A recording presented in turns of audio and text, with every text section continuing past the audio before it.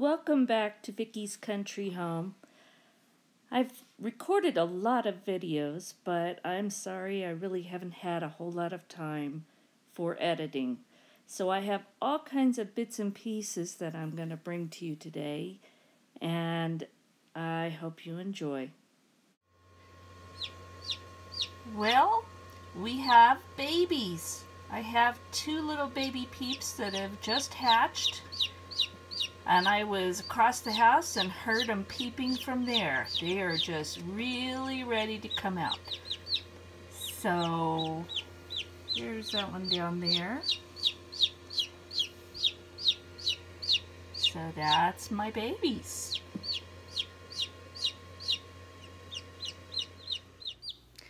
Hey y'all. Well, today is geez, I don't even know, July 11th.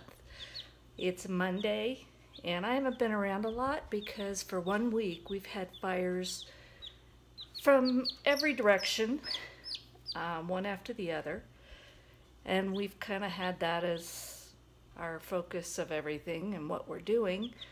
So I haven't really gotten anything together for you guys.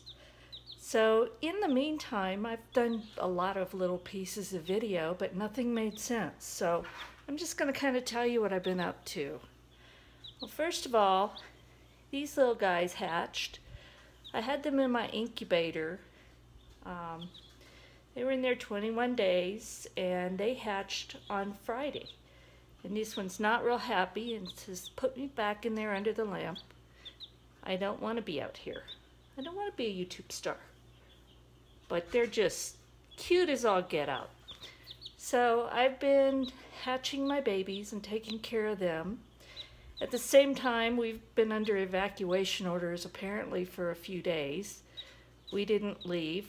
Um, it was more of a concern that we have one road in and out of our valley.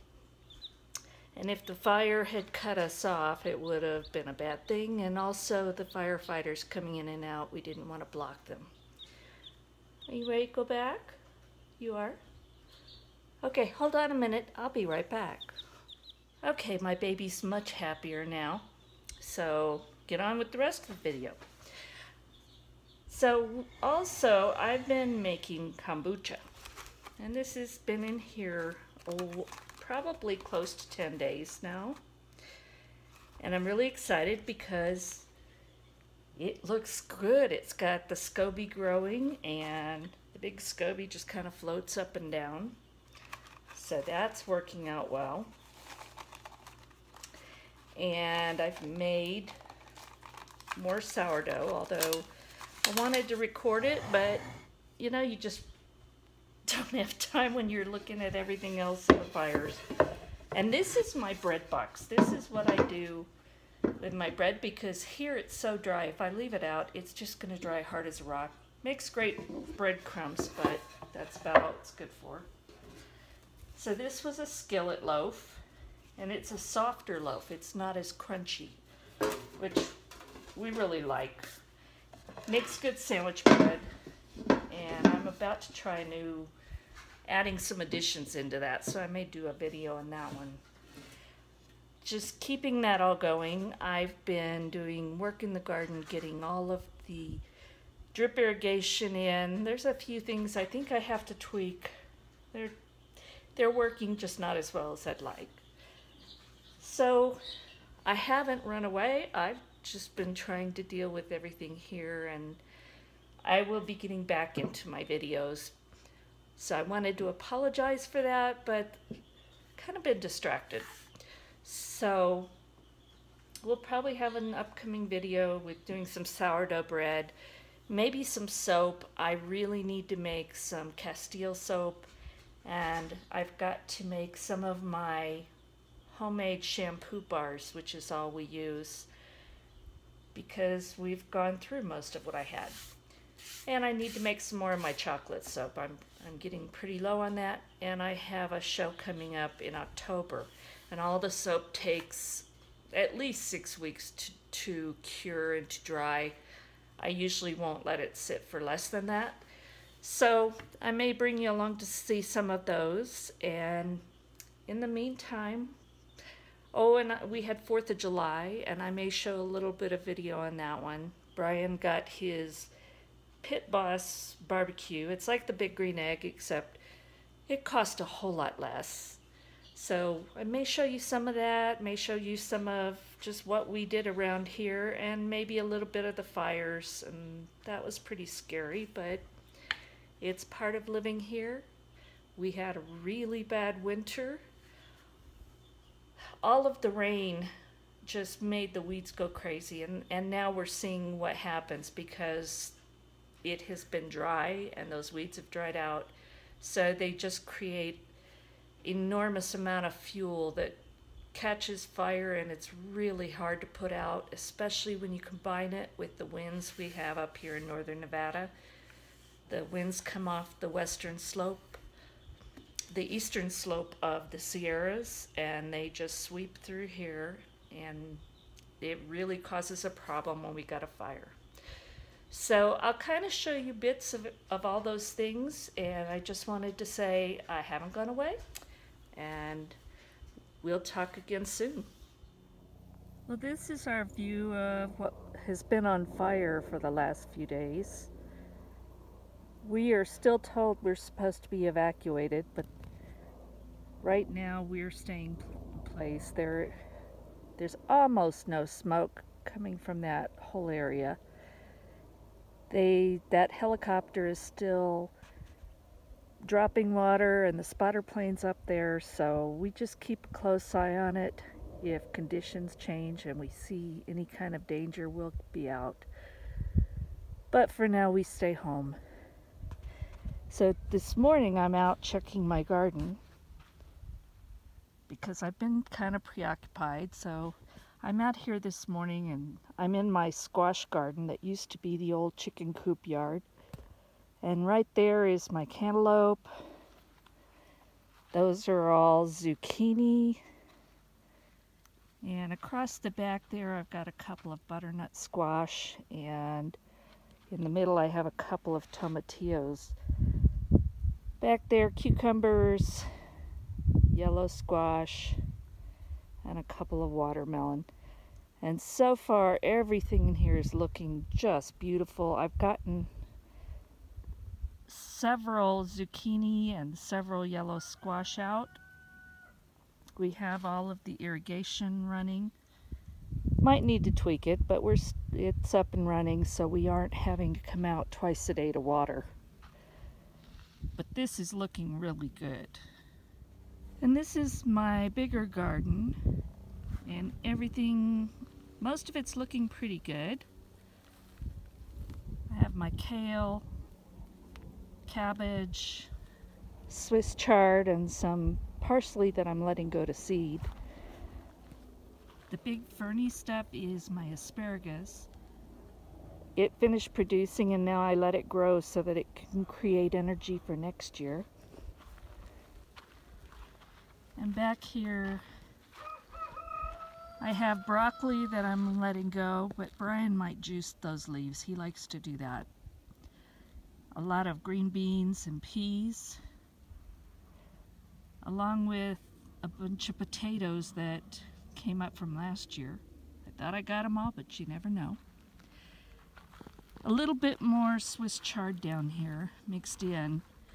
And this green all over it is purslane, which is a weed. But this weed is really good for you. It's got all kinds of nutrition in it. And I figure I'll let it go. It's good in stir fries and it's good in salads. I munch on it right out of the garden. And I have these grow bags back here and I've got more beans in there, a few peas right there. And this is my garlic, which hopefully it's almost ready to harvest. I've got a couple escapes going, so I may take those out. But they're getting really big, so I'm hoping I get some beautiful garlic out of that. And I planted some peppers here with all the crazy stuff. They really haven't done much. But I do have some, a few carrots that made it. And a lot of this was because of that crazy freeze we had in June. You just nothing much liked that. Got some basil. I've got a couple of pepper plants. And there's three of my tomato plants right here. And there's my not so feral cat. Hi, Cadence. And then these are my blackberries right here, and I've got a bunch of new blooms on it, so that's kind of cool. Um, I'm trying to hold them up with these wires to try and contain them because they were getting everywhere, and I need to stick a few in there. And so far it seems to be working great. They were sprawled all across the pathway, and now most of them are contained. Like I said, I'm going to tighten up the wires and tuck some more behind it and then my raspberries are down there. And I have raspberries going across the back of the bed too. Those are all volunteers. I didn't plant those. In fact, this guy right here came up and I'm going to have to pull him out. I don't want him there. Those are my strawberries. And I've had those maybe four years. So that bed's looking nice. And then this is where most of my tomatoes are. That's a big beef, and boy, it's getting big. And I have a few tomatoes down here. In fact, you might be able to see there's a couple of my tomatoes that look like they're turning red. One that's split. I'm going to have to look at that. This one, I'm gonna have to look at. It looks like it's not doing too good. So, I'll be looking at that. Those back there are all Romas and some more beans behind it in the bags. So most of all, everything's looking good, except for this guy, and that was since yesterday. So, and this is more of that purslane. And actually, if you put it in a hanging basket, it's really pretty and it flowers. But mostly, it's just, it's good to eat. So, I'll take you over and show you my grapevines and my fruit trees. See you in a minute. And these are some big pots. I built up kind of a platform out of pallets and cinder blocks and put a little bit of chicken wire around it to try and keep rabbits and such out of it. But I've got some of the oregano that I took out of the main garden and I replanted some of it here. I'm going to put some in the ground before winter because I don't know that it'll live in the pots, but I know it, it will survive the winter in the garden. I've got some okra. I've never grown it in pots before, but I was told that it might be good. So hopefully it will turn out. And then I have some red romaine, which I've never grown before. We'll see how that's doing. And then I have more okra here and more red romaine. This is my dwarf peach tree. I love it. It's not too tall, but it's really spreading, so that's nice. And it's got a number of peaches on here. I hope you can see that. Um, not a whole lot, but there's there's a few. This is the first year it's produced. And there's my little redneck bird chaser. And so far, these things seem to be working. They're old canning jar lids and they flash around in the sun and clank together. And they actually sound kind of nice. Let's see if I can. So when the wind's blowing, you hear that.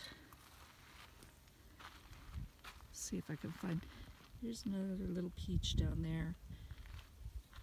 And some more, and there's more back in the center of the tree. So, so far this tree's doing very well. I really haven't done anything but water it, so praying that it does, keeps going well. And then over here are my wild grapevines that, with everything going on, I have not had time to prune and train. And I gotta do that like now. They need to get up. So I've got four older grapevines. These are black Monukkas. They're table grapes and they're really tasty. And then over here, I have two new grapevines this year. And this one's a Chardonnay, and it's got grapes on it, but I'm not sure what's going on with the leaves. I'm going to have to look at that. The new growth looks good. So I've just got to find out what that's doing. And then the one back there is Cabernet, and it's not a ton of growth, but it looks pretty good. So I'll take you out and show you my other fruit trees. This has a lot of weeds in there, but there's one of my rhubarbs. And that one has done pretty well, but I think it's time to divide it. It's really slowed down. More rhubarb and more weeds. I gotta get out here. As soon as the smoke clears. This rhubarb I planted last year and I thought it was dead. It came back this year, but the grasshoppers have been eating it like crazy. So yesterday I came out put diatomaceous earth on it. I'm hoping that that puts a stop to it. Time will tell. Those are my two apple trees, and as you can see, they just lean so far. In fact, we're going to try and brace them up. This is how crazy our winds are. These trees were growing straight. They've been here for several years. But with all the wet and with all the wind, they just keep leaning. So we have to get out, try and stake them up, pull them back upright a little bit. But I have a few apples on them. This will be, again, the first time. And over here is my little cherry tree I planted last year. It's upright, which yay, that's one good thing. And it's it's got a bunch of cherries on it. Um, they're not quite ripe. We tasted some yesterday. They're pretty tart. So hopefully these will be ready in a day or two. We can come out and pick these. And then my solar panels and wind generator right back there and the wind is not blowing a lot, thank you, because the fires are just horrible. I, this is probably the worst year we've ever seen. We know it's because of the wet winter we had. There's so much growth. You can see around me where you mostly see the green weeds because weeds are what we have out here. But beyond that are the taller weeds. And here in this green area is where Shayna and Brian have gone out with our DR trimmer and I mean it's like a giant weed whacker. Basically cutting this all down. It's a huge area. But we have to create a fire break. So they've been out here doing tons of work. And probably you're gonna have to go over it again but let's hope not. Anyway this is what I've got right now just so thankful that so far the fires have been contained in one area. Oh, there goes the wind now. And that our firefighters have been safe and doing such a wonderful job. Oh, and by the way, I'm not sure if you can see this in the video or not, but we have fishing lines strung around our garden and around here we were having trouble with the deer and the antelope just destroying our trees. As you can see, I mean, they, they got pretty ragged looking because the deer were just, they'd come in and it was like a buffet. So we saw this idea and we put up posts around it and then strung the 30 um, 30 weight monofilament line clear at several levels around here. I think we have three rows right here. And so far, it's been doing the job. We've had a huge buck antelope that's been hanging out on our property, and we've tried to sh shoo him away, and he just keeps coming back. But we know he tested this once because antelope will go under or through, they don't go over. And this line right here was broken. So we replaced it. And since then, we really haven't had any damage from that. So we're hoping that this continues to work. They get smart, so hopefully they won't figure it out. The, the idea is that they can't, the deer can't see it and don't know how high to jump. And obviously the antelope felt it, but, and broke it, but he didn't go inside, so we're very thankful for that. And there's a view toward my garden and chicken coop, and the fire was just back there, just above our roof line in the distance. So we are so fortunate and thankful. We're looking over at where the fire, it's not out. We see some wisps of smoke still over there, but they've called off the evacuations finally. That was Saturday. This is Monday. There's like like I said, there's just still some really wispy smoke over there on the oh the right hand side of this but it looks like they've got most of it out and they've taken most of the equipment that was fighting with the helicopters, the planes, a lot of the ground crews that were fighting it by hand, although I see still a couple of vehicles up there. But they've mostly left to go take on these other fires, so it's really a bad situation all across the West, and just keep us all in your thoughts and prayers. This is what it looks like at night, and it was really scary because you couldn't tell really how far away it was. And one of my favorite movies of all time that I've loved for years is the movie Always, and it's about the pilots who put out these fires. And we were either fortunate or not so fortunate to see exactly the kind of work that they do. I just, I'm in awe of these people. Can't see me, but thank you guys. Yeah, like right over my head. Don't drop anything here.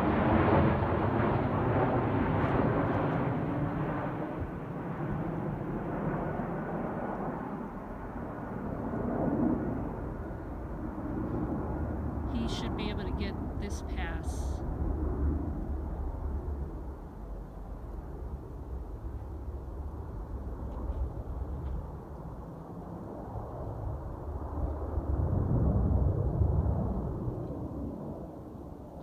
Show Ron and Jan are okay. I hope everybody okay. There's a lot of new people that I don't think are prepared for this stuff. At, uh, Yeah, I saw it at Mid Road.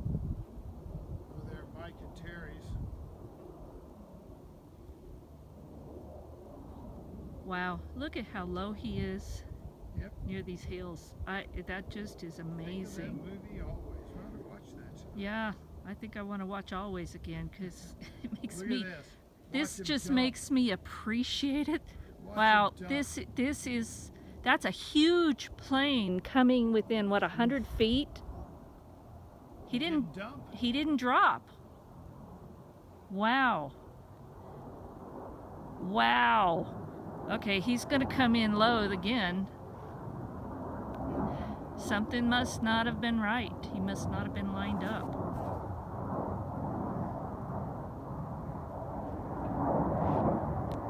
Wow, look at him bank. He's. Uh, he's at what, 150 feet over our house? Maybe? Maybe. I mean, he's he he is right over our heads, guys. Wow, my phone is straight up in the air watching this over my head. These these people are amazing. Wave at the pilot and see him wave back. I have, but I, I think they're busy.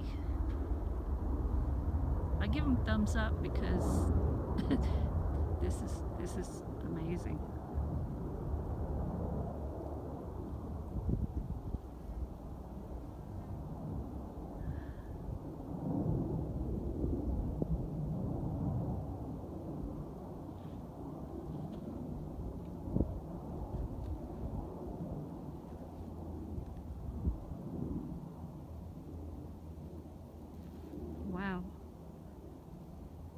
Look at how low. Yep, we need to watch always again. And pray for these guys.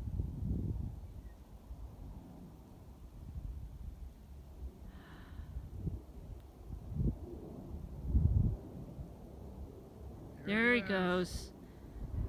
Yay. Love the orange stuff.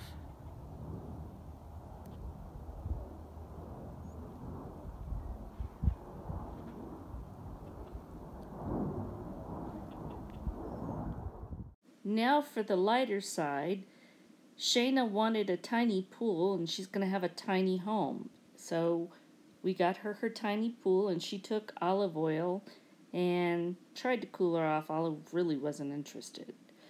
Brian got his pit boss and he's all excited. And so he made wonderful country style ribs and then he made us a brisket. So that was the good part of the week.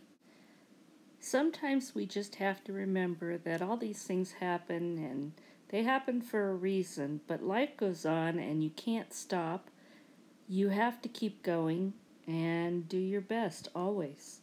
So, thank you for watching, guys. I hope you all had a blessed week. And if you enjoyed this video, give me a thumbs up and subscribe. And we'll talk to you soon. Bye bye.